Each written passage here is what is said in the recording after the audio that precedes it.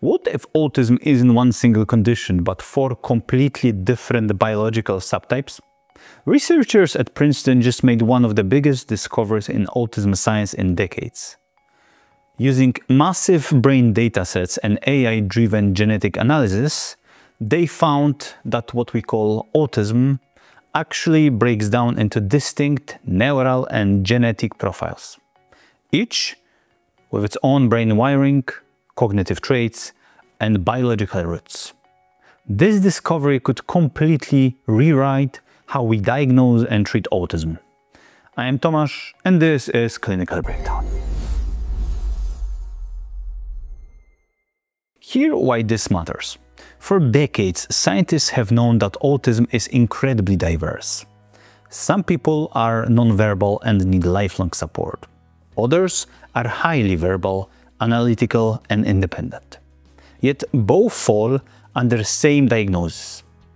That's like calling all infections a fever, instead of naming it, naming it what actually caused it.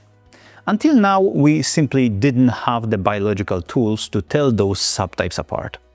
But Princeton scientists just combined genomics, brain imaging, and AI to uncover something game-changing. The team analyzed over 2,000 brain scans and gene expression datasets from autistic and neurotypical individuals. Instead of forcing the data to fit to one model, they let the AI cluster biological patterns naturally what emerged were four distinct subtypes, each with unique brain activity, behavior, and genetic expressions. Subtype 1 strong cognitive strengths but atypical sensory and motor network wiring, linked to genes for synaptic plasticity. Subtype 2 emotional regulation and communicational disruption, tied to immune and glial gene signatures, suggesting neuroinflammation may play a key role. Subtype 3 global brain underconnectivity with developmental delay features associated with genes that control early brain growth. And subtype number 4 nearly typical cognition but with distinct changes in visual and attention networks involving dopamine signaling genes. And those weren't one of finding, findings.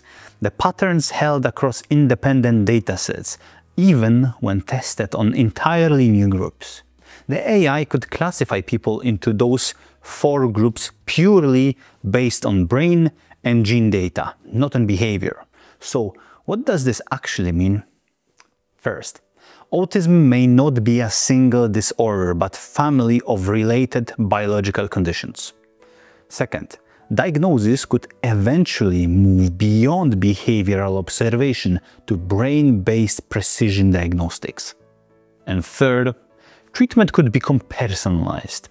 A subtype showing immune dysregulation might respond to anti-inflammatory therapies.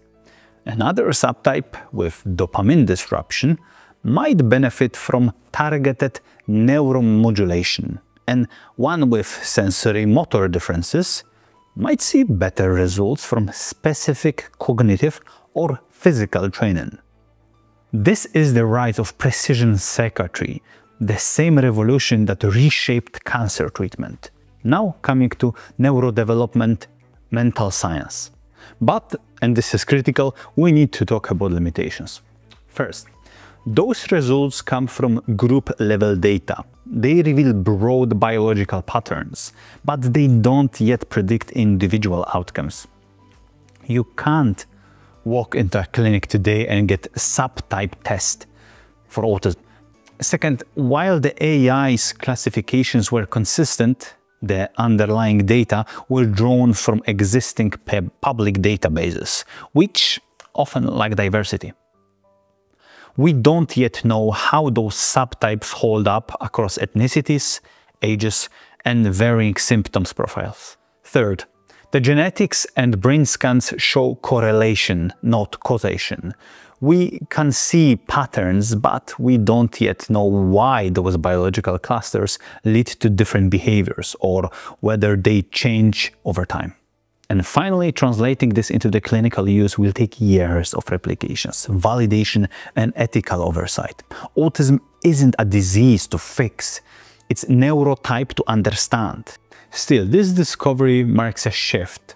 For families and individuals, it brings a hope, a move away from one-size-fits-all labels towards understanding your unique neurotype. For clinicians and researchers, it signals a future where autism care will be biological, data-driven, and deeply personalized. Autism isn't a single story, it's a spectrum written in four biological languages. I'm Tomasz, and this is Clinical Breakdown, where we decode the future of mental health and neuroscience. Subscribe for more episodes and tell me, should autism diagnosis be based on biology or behavior? Because the answers may already be written in our brains.